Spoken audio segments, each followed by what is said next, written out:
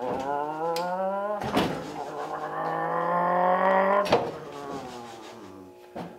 hey there. Today we're going through my 1967 C10. It is my favorite thing to do whenever I pick up a new project is to go through the contents of the vehicle because you never know what you're going to find. So let's dig in here, see what we got. Before we get too carried away of digging into all the wonderful contents inside of this truck, I just kind of want to go over it real quick. It is my 1967 C10 that I picked up about a year or so ago at this point. But it is a factory short wheelbase truck. It is rough around the edge, but it's got a big block in it, so I think that kind of takes away from all that. Recently just acquired these wheels off of Facebook Marketplace Got some fat ones out back and a little bit skinnier, shorter up front. As I was saying, it is a little rough around the edges. We get a little rust right here. And it's got rockers riveted in it with no inner rockers, but who really cares about any of that? Like I was saying, it's got this awesome big block Chevy in it. It's never been fired up, so that's going to be one of the next videos. Got to acquire a carburetor, because we're going to have to be breaking in this old flat tappet bump stick aka camshaft in here. It is a Lunati bracket racing camshaft. That's all I know about it. I don't know any specs on it or anything like that, but came with the old cool Cal Custom valve covers. It came with the long tubes there. And it's just a pretty neat little piece. It's backed by a Turbo 400. But without further ado, let's dive in this thing and start getting into what is actually in this truck. Alright, so I guess we're to start at the back of the truck and work our way into the cab. Um, looks like the first thing here, we've got a set of rally wheels, which obviously a lot of this stuff is pretty easy to see inside the back of this truck, but I like getting on the inside because you never know what you're to find.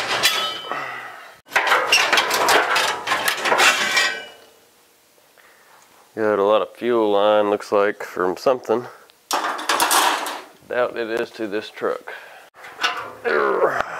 Inner fender.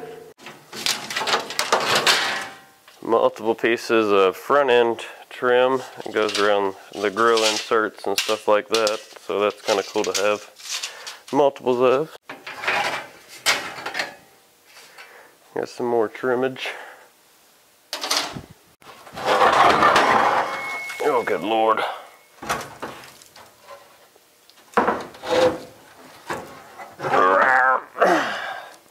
Jesus, Pete's at the heavy bumper. Drive shaft.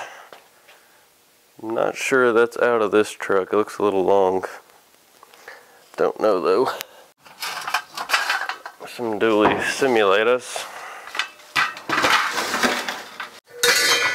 Some weather cracked wheels.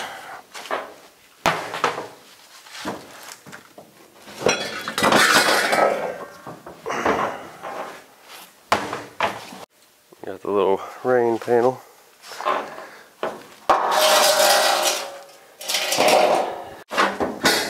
Uh, looks like a cut speedometer cable and then the little weather stripping for the cowl piece. And then we just got two factory style steel wheels.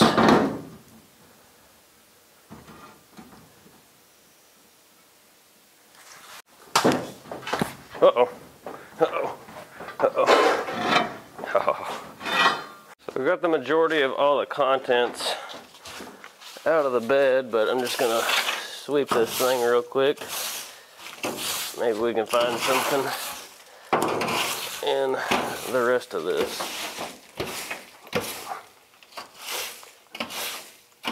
First time I'm seeing the bed floor, and it's not as bad as I thought it was to be. It's rough, don't get me wrong, but it's manageable. Let me know in the comments what's the craziest thing you've ever found in a truck. I've found anything from bullets to hair ties, all kinds of weird stuff, and jewelry. So let me know what you found down in the comments below.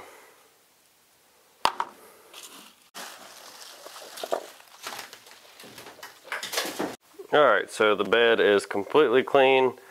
Um, the bed does have a little bit of wave in it, so it looks like somebody has used this as an actual truck. Something oily was definitely down in that corner, which might have saved it a little bit. You can see we got a little bit of rust. And then the inside of this bed panel is like riveted in like it's like a two-piece. It's kind of odd, but that uh, second layer there is kind of rusting. And then you can see up there we got a couple holes, but for what it is, it'll be pretty cool. Um, only thing I found that I didn't really know what it was was this piece here. Kind of looks like a piece of trim. But I'm not sure if it goes to this truck, which it's pretty gnarly anyway. But yeah, that's about the only thing I found on the back. Now before we get into the cab, I'm going to run you over here to the other side because this truck did come with a lot of parts that I did know that were in it so I'm just going to run you through those real quick. We got a B&M shifter for the Turbo 400. It came with a set of coilovers and then here at the bottom there's a little parallel four link with a panhard bar. It's uh, got adjustable mounts and everything so you can adjust your instant center and all that stuff. And then it came with a bunch of headlight bezels and all that stuff. Just a bunch of different little parts for these particular years. It actually came with a Holley carburetor, which is actually on the dually, and uh, it's performing very well. Also a cool little thing on the engine. It's got the old Pete Jackson gear drive timing set in it. So that thing will have a little bit of a whine to it. I've never had one of those. I've always heard about them. So it'll be kind of cool and a little bit nostalgic to see that. And it might get very annoying. I've heard that they do. So that's supposed to be the quieter of the two that you can get though. So looking forward to hearing this old thing fire up. But let's get inside, see what the heck we're working with. Right off the bat, got some mouse turds as to be expected but I think the majority of this stuff is a lot of like five lug conversion stuff you can see control arm there there's a caliper. Got a little headlightage but let's dig into all that over there and see what the heck we got going on. So right off the bat we got a AFCO guarantee for the AFCO coils, those coilovers I just showed you, a lifetime guarantee on those, so I don't know. It's got a little bit of information right there about the spring and all that. Unfortunately, it looks like a mouse got a hold of that, so that's going to be less than ideal. Starting off with our five lug swap kit here, looks like we got two dust shields. Got an upper control arm. I don't know. I, I'm, I'm guessing these came off of a square body. I don't know exactly. I don't know if there's a number we can look up, but that's future me problems. Got some U-bolt brackets here. Got some kind of shock here of unknown origins or what it's even for. It's a KYB though. I'm pretty sure it's a pretty decent little brand. Two sets of wipers. Taint sure. And we got a caliper. Have to run that part number, see what that's even off of. Maybe that'll help us decipher what the heck everything else is for. Might need this right now.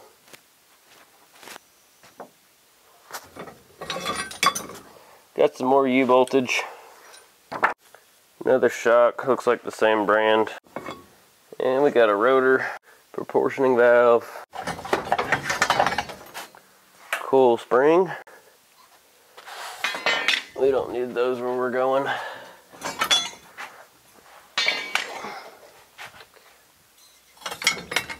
Let me know in the comments also, would you like to see this be an air ride truck like my 64? Or would you rather see it be a drag and drive style truck? That's kind of the route that I'm leaning towards. But just let me know what you would do with it. Old tire iron.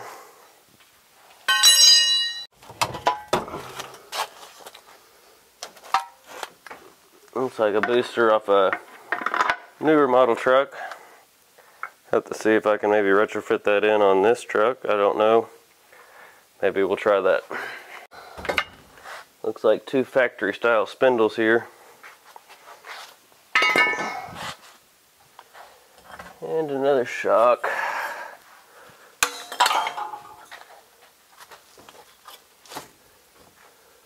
Yeah, they put some kind of weird, uh, almost looks like tar paper on this thing on the floor.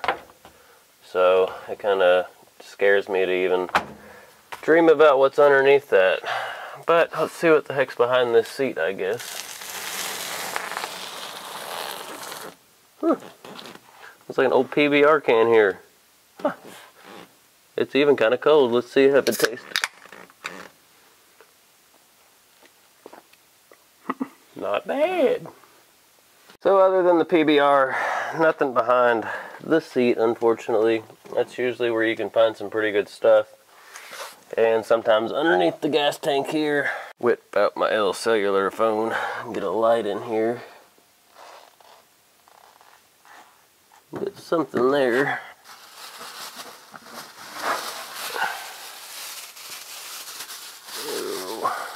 Looks like a book.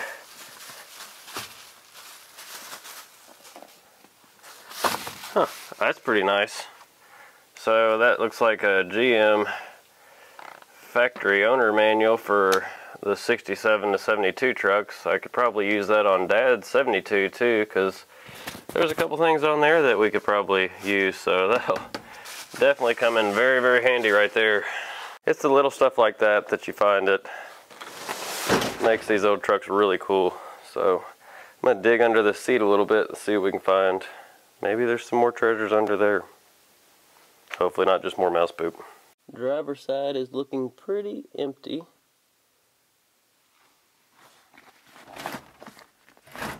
I guess the whole seats aren't bolted on this thing.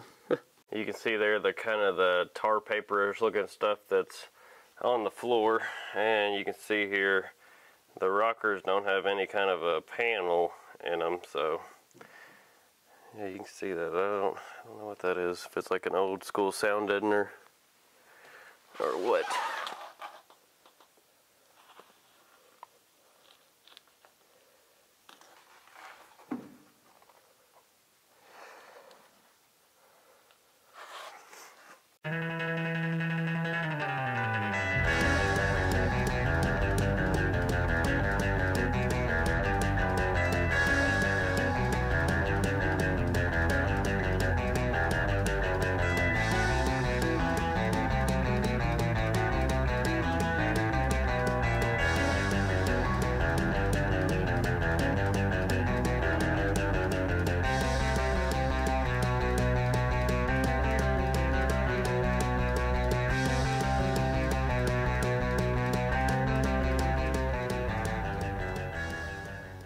Right, so we dug through the C10. You've seen we've got quite a bit of stuff. We've got doubles of a lot of things, and that's good. I mean, it can be trading material or just in the future have another project. But I tell you, whenever you're going through these projects and you've got all this stuff going on, it is pretty nice to just do something like this. Kind of breaks up the monotony of just constantly grinding on a vehicle.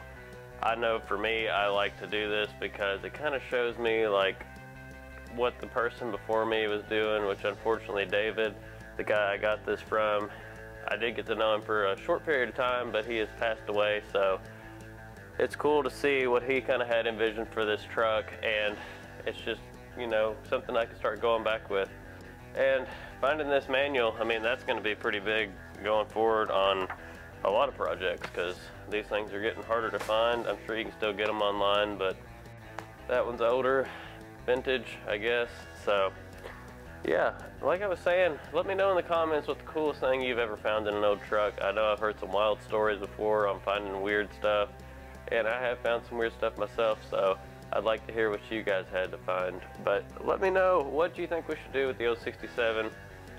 bags, drag and drive, just a lowered suspension and burn the tires off. I mean, I don't know. I'm kind of up in the air. I'm kind of pinching pennies currently to get some carburetor stuff and just finished up for the engine so we can fire this thing up finally. But appreciate the heck out of you guys stopping in here again, watching a video. And if you're here to this point, I appreciate you. But it's a kind of a shorter one, but I just wanted to get you guys in here, show you what I'm doing. But we'll get back to some actual work here very soon. As always, have a good one. See you on the next one.